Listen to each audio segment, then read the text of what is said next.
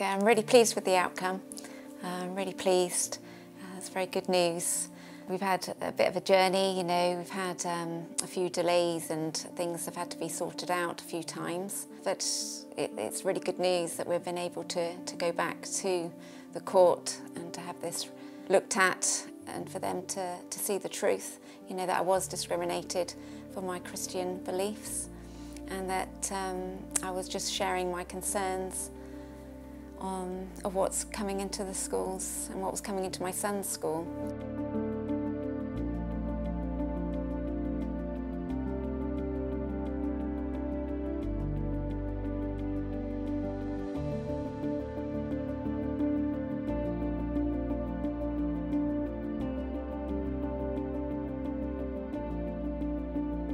Yeah, a lot of people probably did think I was making a, a fuss out of nothing. My concerns was about the No Outsiders program that was coming in.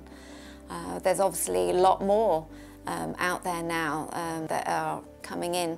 You know, a little bit that I saw at the beginning, you know, there's more crept in. Um, obviously more people are becoming aware of it now, which is wonderful.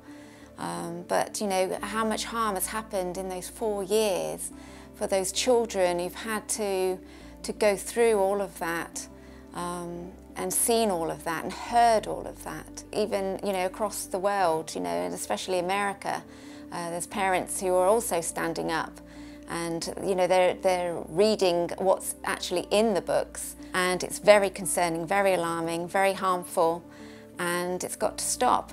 And, um, but people are rising up now and people are getting to know the truth and I just hope and support um, all of those who are standing up because it's so important to come against this because if you add a little leaven then it leavens up the whole lump and it's very very serious.